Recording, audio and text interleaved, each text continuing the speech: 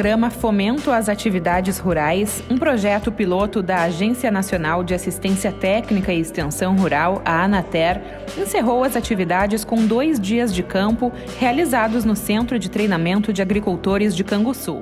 Hoje nós estamos aqui então encerrando né, a atividade de, praticamente de encerramento do nosso acordo de cooperação técnica com a ANATER, no qual na região, aqui em sete municípios, né, que abrange esse acordo de cooperação técnica, nós a, atendemos aí cerca de 215 famílias de que principalmente que são os povos e comunidades tradicionais.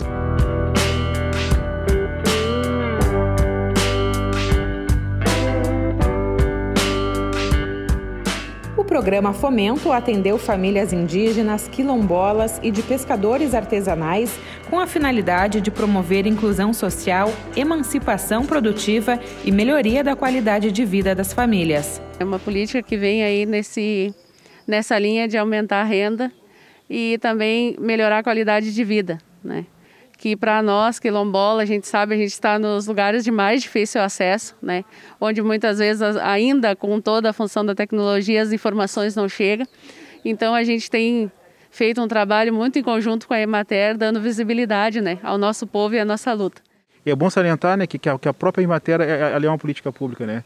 A Emater ela entrou nos quilombo, né, e, e melhorou, né, a vida de muitas famílias quilombolas, né. E quando chega essa, essas, essas políticas públicas, né, que fomentam, que muito acho que é pouco, mas, mas para nós é muito, né? Vários relatos aqui, né, desse recurso sendo é utilizado de fato, né? Ao longo do período de execução do programa, foram desenvolvidas diversas ações, como diagnóstico do perfil e das necessidades das famílias, atividades de capacitações voltadas às questões sociais e técnicas de produção e aproximação das famílias a políticas públicas das três esferas do governo. A gente uh, iniciou com o programa Fomento uh, em três comunidades lá em Pedras Altas. Uh, atingimos umas 25 famílias uh, com esse trabalho. Foi importante porque a gente conseguiu uh, melhorar bastante a qualidade da alimentação das famílias, porque a maior parte dos projetos eles foram na produção de aves, né, que as famílias não tinham uma estrutura adequada para a criação de aves.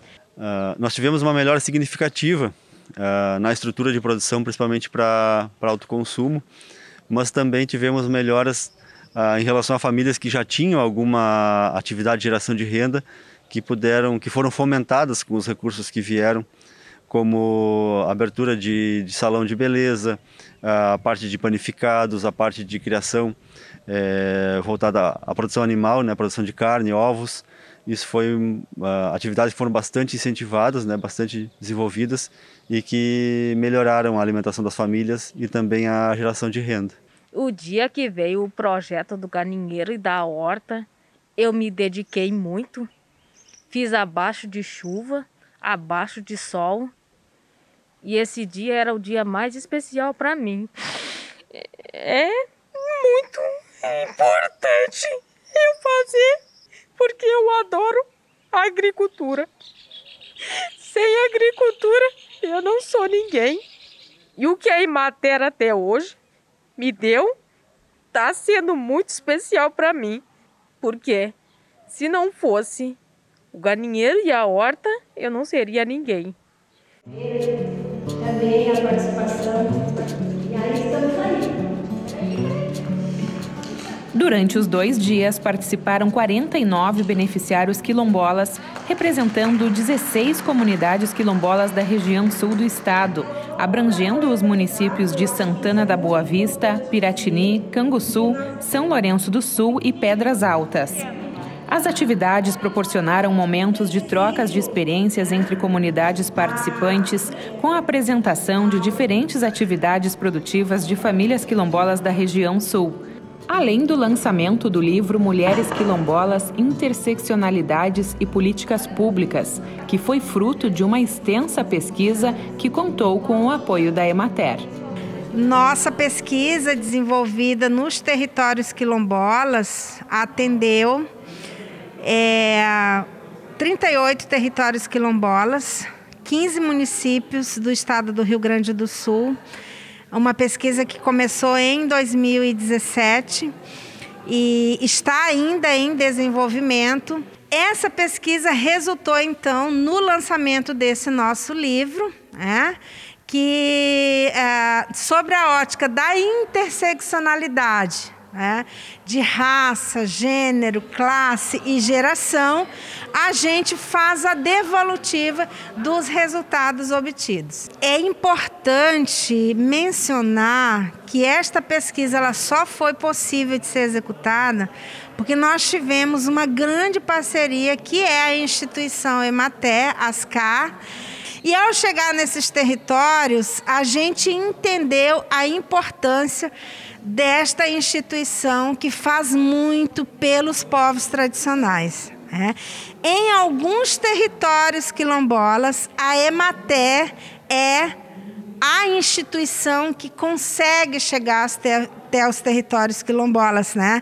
Inclusive alguns municípios onde o executivo é ineficiente e muitas vezes ausente.